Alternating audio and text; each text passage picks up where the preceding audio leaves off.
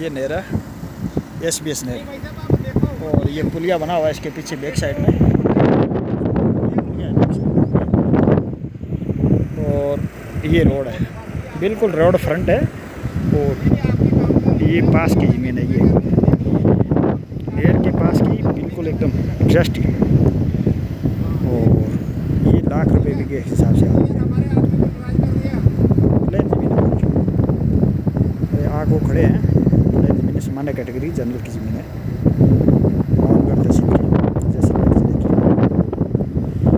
एक लाख रुपये सामान्य कैटेगरी मेरी ज़मीन कमांड है, पूरा पानी